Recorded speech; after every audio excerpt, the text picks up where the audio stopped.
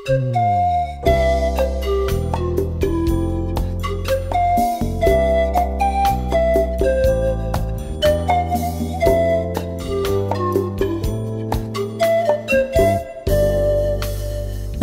Solomon, în cartea Proverbele, la capitolul 16, spunea Cine are o inimă înțeleaptă își arată înțelepciunea când vorbește și mereu se văd învățături noi pe buzele lui. Iată că vorbele pe care le rostim sunt o oglindă a inimii noastre. Cuvântul care poate ucide vine dintr-o inimă otrăvită de rău.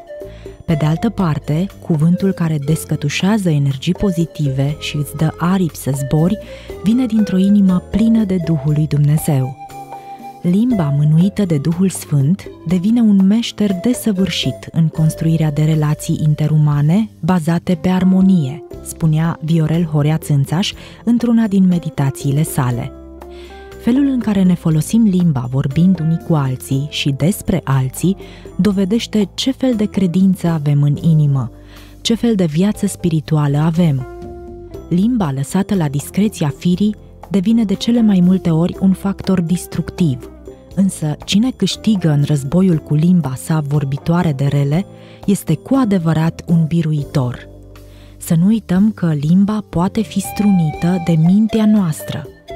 Și încă ceva. Este mai înțelept cel care știe să tacă decât cel care știe să vorbească prea multe. Înțeleptul preferă tăcerea în locul cuvintelor goale și știe să comunice mult în vorbe puține.